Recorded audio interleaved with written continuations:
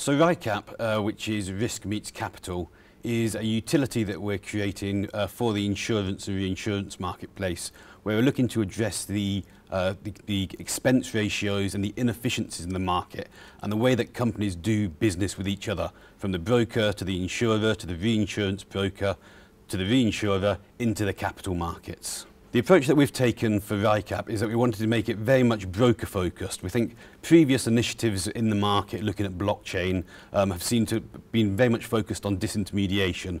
We see that brokers are going to be driving the market forward. And whereas other initiatives have tried to do a complete global play, the way that we see it is that there's going to be hubs uh, coming up around the world using common data standards and then these hubs can interconnect with each other just the way that the insurance market works today. The success of the, uh, the RICAP project uh, is actually being measured by the participants. So we've started a trial progress uh, process with the participants and we've, we've created a number of KPIs via the steering committee where they can look internally at their business and understand what are the, the practical efficiency gains uh, that they can get from this. Post the trial, we're going to be measuring this against in terms of the rate of adoption. So we're looking at how this is, up, is taken up within the marketplace.